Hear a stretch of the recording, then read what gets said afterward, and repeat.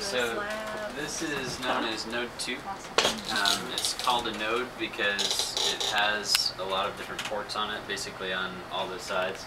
So it's kind of a, um, Connection point. yeah, a connection point for the Chico I'm, boys. I'm electrical. No, We call nodes electrical. The uh, orientation wise, we consider that direction to be forward on the space station. And that's because that's the direction it flies in its orbit.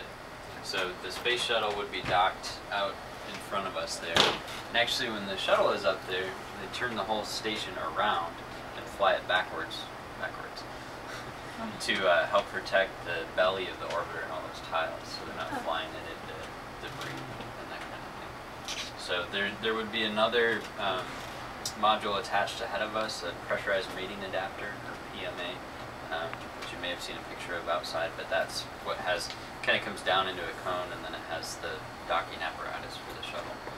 So um, that direction is the Columbus module. It's the European module. Their uh. And then the main the main stack, the main stack of the space station goes quite a ways down there. Um, of course, here they're spaced out a little bit because there's gaps in between for stairways and that kind of thing. But it does go quite a ways back.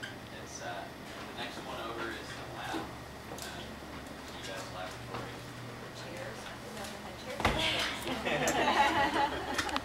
So you can sit down when you get tired. Um, and then there's another uh, another node back there, and then on the far side is where all the Russian modules are. Those are not anywhere near as spacious as these. Their uh, pathways are probably half this at best. Um, they're a lot more utilitarian than than the rest of us. Is there So- a main control unit?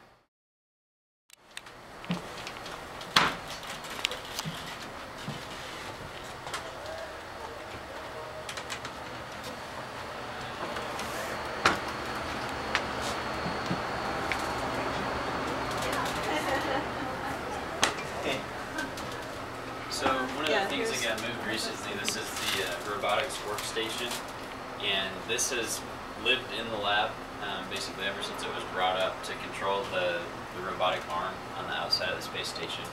So the interesting thing about it, you can see there's well no windows.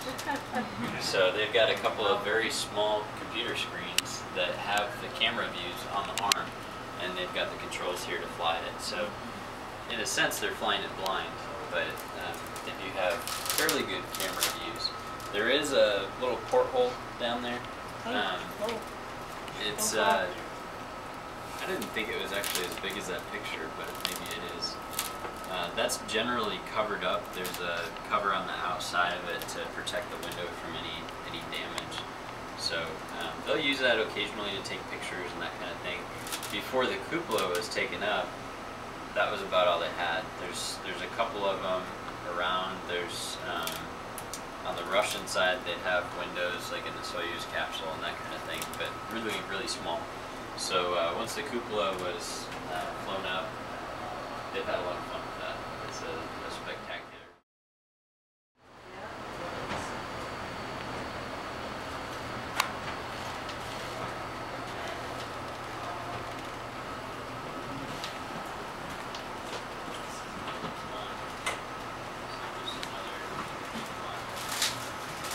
Off of this one, so this side would be node three, which we just brought up last year. It was the last module brought up, which is where the cupola is as well. And then on that side is the airlock, so where they go for um, to do their spacewalks. And then continuing through behind us is um, all the Russian segments. So, yeah, we might have to get out of the. Russians. There come the Russians. We can just So, questions? Are we able to go out there down the stairs and just look in the Russian module, see how small it is? Yeah, as long as we're. Are they? Can you look through there? Did they go through that way? Oh, They're there. all of these back. stickers that are up here, is, is there like a little ceremony or anything with all the missions when they come up? Do they? In the mock-up here, or Yeah, in the space? mock-up, or is that just the group here, yeah. the trainers and, and I imagine they do something. I've, I've never seen an Okay, actual I was just kinda wondering.